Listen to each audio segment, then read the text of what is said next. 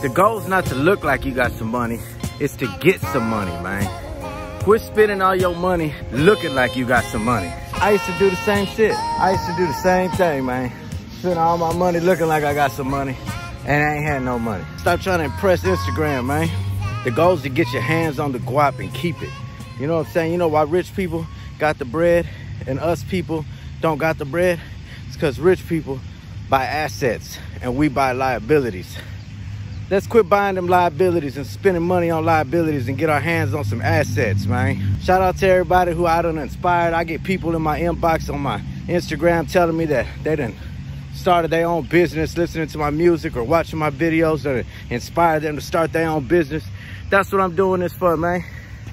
Somebody told me the other day that my prices were too high on my website and my fans didn't have money like that. I didn't have money like that either. But it's because we spend our money on the wrong things and we have no financial literacy. And I'm here to game y'all up, man. So as I learn and I go on this process and this journey, I'm bringing y'all along with me. I done told y'all. It's my moral obligation to do that for y'all, man. Lucci Gang, I'm out.